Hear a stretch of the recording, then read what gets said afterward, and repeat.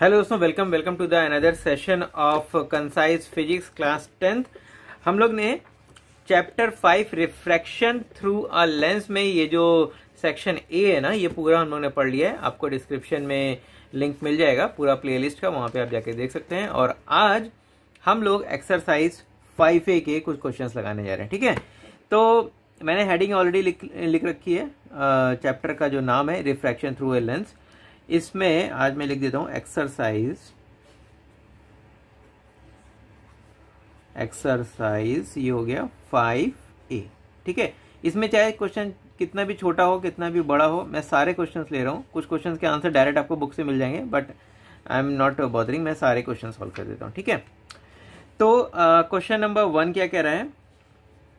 Let me write question number one question number one is very simple ये आपको book में direct answer मिल जाएगा.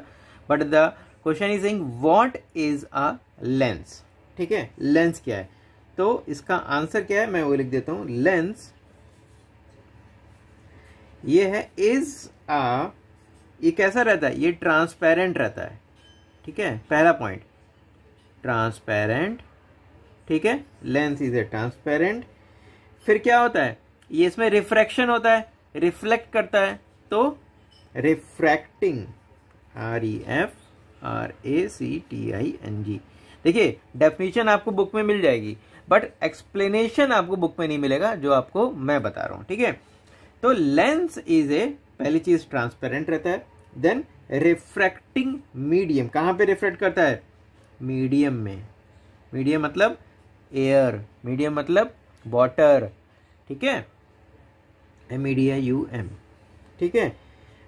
अच्छा ये कैसा रहता है? मीडियम में तो क्या? बाउंडेड भाई, उसका कोई ना कोई तो बाउंड्री रहेगी ना? बाउंडेड बाई कैसा सरफेस रहता है? Two curve bounded by two curve आपको याद है ना? मैं मैं कौन से लेंस की बात कर रहा हूँ? चाहे आप कॉन्वेक्स की बात करिए, चाहे कॉनकेव की। तो वो अपने नेक्स्ट क्वेश्चन में आपको बना के भी दिखा देता हूँ। इनफैक्ट टू कर्व्स सरफेसेस ठीक है? यहाँ तक कोई दिक्कत डेफिनेशन समझने में? आपको लर्न नहीं करना है। आपको केवल समझना है। और एग्ज़ाम में आपके दिमाग में एक कंसेप्ट आ गया ना आप अपने मन से डेफिनेशन लिख दीजिएगा। ठीक है? अब उसके बाद क्या रहता है? ये जो कर्व सरफेस होती है, वो कैसी होती है? स्फेरिकल होती है, बस।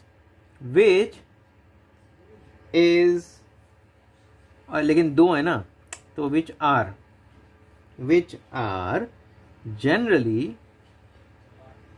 कैसे होती है? स्फेरिकल बस, बन गया आपका डेफिनेशन तो lens is a transparent transparent होता है क्या? Refracting medium bounded by two curve एक रिफ्रैक्टिंग मीडियम होता है, ठीक है?